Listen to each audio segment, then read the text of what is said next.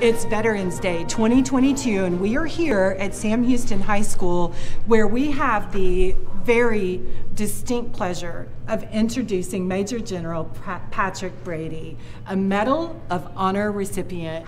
I can say, on behalf of all of us in the Arlington ISD, how incredibly proud we are that you are here at our school with our students on such an important mission. Now, Major General, tell us a little bit about your work today at the school, and then we're going to talk about your background. Okay. The, uh, the beautiful thing about the medal is it doesn't make us special, but it allows us to do special things. So we are able, because of that, to develop a character development program that we've been doing for 15 or 20 years. And we take the lessons associated with the medal, valors, valor and values into the schools across America to teach young people that they can be heroes and they don't have to go to combat to do it. Yeah, and I've heard you say on more than one occasion that you don't think you're a hero. Oh God. Um, no. now the good news is we get to decide if you're a hero or not, and we believe that you are. So you flew combat missions, and you were talking to students about that today about flying your helicopter on over 2,000 missions in Vietnam, um, and how many lives you saved. What was that? What, what were those numbers? Actually, I flew 2,500 combat missions, and I, I uh, was involved in the rescue of 5,000 soldiers. Now, having said that, I was a helicopter ambulance pilot, and there was a whole bunch of people doing the same thing I was doing, flew as many missions as I flew, and rescued as many patients as I did. When you were um, in the classrooms today, one student asked you if you were afraid when you were flying your helicopter, and you had a very good answer for that. What did you tell the students? Well, th- this is one of the things we teach young people uh, about courage, sacrifice, and, and patriotism. And I believe, for me, the foundation of courage is faith. Courage is when you reach a breaking point, but you don't break. And if you're a person of faith, fear, courage is fear that has said its prayers. And courage so is I, fear that has said it. Oh, that's so yeah. good. and courage, courage of uh, fear is an emotion. It's an emotion. You reach a breaking point, but you don't break. Fear, uh, courage is a decision, fear is an emotion. So a life well lived is a life of good decisions and you definitely helped our students to see that today. Juan Villarreal is our principal here oh. at Sam Houston High School. Uh, principal Villarreal, you were in those classrooms, you were listening to Major General's talk with the students and hearing the questions. I have to say, we go to a lot of classrooms, and they, every we went to three history classes today, and all those students were engaged. As the principal, what does it mean for you, Juan, to be able to bring this level of change into a classroom?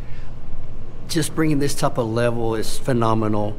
Having someone that come into our classrooms to speak to our students about what they've gone through, the history of it, and encouraging them to just live a great life and to have good character. Uh, I could see it in the faces of students. They were listening, they respect what he had to say, and so it, it really brought a lot of joy to me to know that our students are looking up at our model citizens to become like them and create that character and integrity that he shared. So it's it's outstanding. You said that very well, uh, Principal Villarreal. The superintendent is also with us, uh, Dr. Marcelo Cavazos. Uh, Principal Villarreal talked about the fact that you know we have upstanding citizens. That's one thing that you promote in our right. school district. You were here today. What were your takeaways? Well, it was just a blessing, a blessing in Arlington that we're able to host a Medal of Honor recipient, and more importantly, that they get to interact with our students. So uh, I was in those classrooms, the students were very engaged. You could hear a pin drop because they want to learn and they want to also be a demonstration of excellence and courage and those things that we know are important in people's lives. Uh, and here we have an example uh, that can interact with our students. So we're just very fortunate. Looking forward to the Medal of Honor Museum uh, coming and being built to, here in Arlington and continuing this partnership because this changes lives. This interaction that we had today with our students and you changes lives. So I appreciate it. And Major General, when you were in the classrooms, you demonstrated some of your humor uh, that you have as well, and we really appreciate that. Um, so I want our our audience here on Facebook to hear this story you told the kids about how you found your way into the U.S. Army, and don't leave out any details. Well, no, it's, it's true. It's a true story. I, I went to an all boys Catholic high school.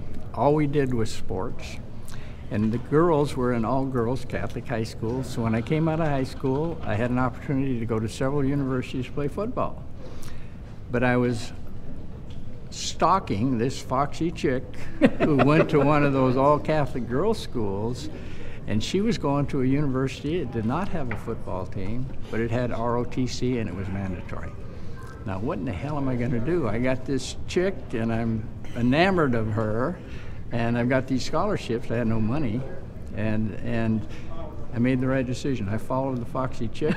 I ended up in ROTC, and it was mandatory. I had to go in. I didn't want it. I hated it, but I married the foxy chick.